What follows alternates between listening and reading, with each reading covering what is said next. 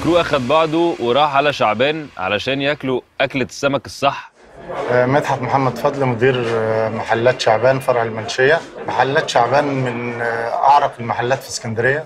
المحل يمكن بيمتاز بشعبيته أكتر رواده من خارج اسكندرية. الأسعار في متناول الجميع. كل واحد بيخش المحل بيبقى عارف هو هياخد إيه. مش هيخش محل مثلا يقوم يلاقي فاتورة عالية هيلاقي لا يلاقي معاملة بسيطة آه، وضع عمال بسيط. بتحس إن أنت مش قاعد مثلا في مكان مثلا برستيج معين واكنك قاعد مع أصحابك اكنك قاعد في البيت اكنك قاعد في وسط ناس تعرفها. دي اللي بتميز المكان يعني. بساطه في كل شيء. سبب الاسم إن هو كان في الأول محل صغير وكان بيبيع في الأول آه، سندوتشات سمك مع بطاطس مع حاجات البسيطة. وبعد كده كانت الناس رواد مثلا من بورصة القطن وقاعدين على التجارية. كان يجوا المحل. ده الكلام ده في الستينات في أوائل الستينات. فيجي ياخد سندوتشات سمك مع سندوتشات بطاطس الرواد بقى من خارج اسكندرية يجوا يكلموا بعض. فأكلت فين؟ بقول له خش في الزقاق داخل زقاق ويوصفوا له. ففين شعبان؟ بعد ما يلف فين المحل ده؟ فأول ما يصل أول ما يصل هو ده شعبان بتاع السمك اللي بيقولوا عليه.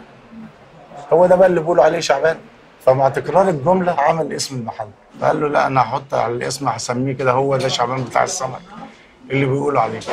على أساس تبقى إيه؟ اجابه لسؤال. يبقى كل واحد بعد ما لف وبعد ما دور يجي يلاقي إيه؟ يلاقي المحل.